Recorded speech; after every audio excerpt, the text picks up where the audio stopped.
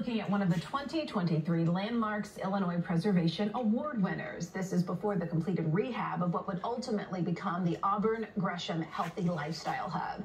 Here's the after. Joe and I were out there for the big grand opening that turned a vacant 100 year old terracotta building on West 79th into a community center.